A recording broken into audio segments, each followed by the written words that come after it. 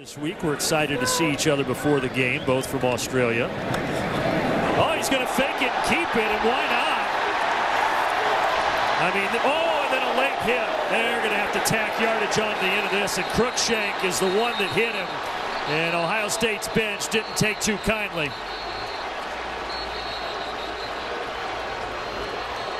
Now you got Melton in the mix, and they're going to have to separate. Greg Schiano comes all the way over from the other sideline to get his players out of the mess.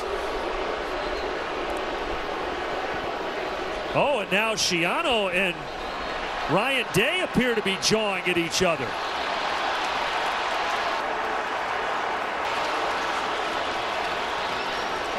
Two men who worked together here for a couple of seasons under Urban Meyer in 2017 and 2018, and I think Greg Schiano took issue with a fake punt.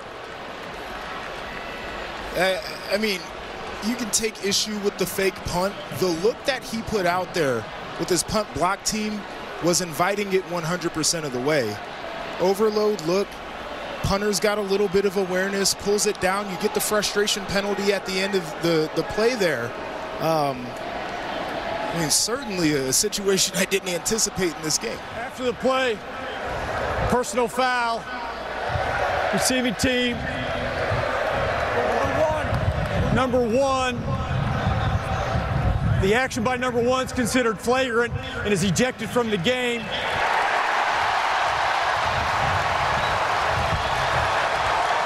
Unsportsmanlike conduct is charged to both head coaches of the teams. Their first of the game, those offset. First down. So first down Ohio State Time after out. all of that. And I can draw it up for you. You see this overload look right here. All these guys are rushing. They've got more guys on that side crashing in than Ohio State would have been able to block over the edge anyway. It opens wide open for Mirco to run it. And the wide receiver Cruickshank is now ejected from the game after the hit. And then Greg Schiano came all the way over from the Rutgers sideline to the Ohio State sideline, and they got jawing at one another. Oh boy.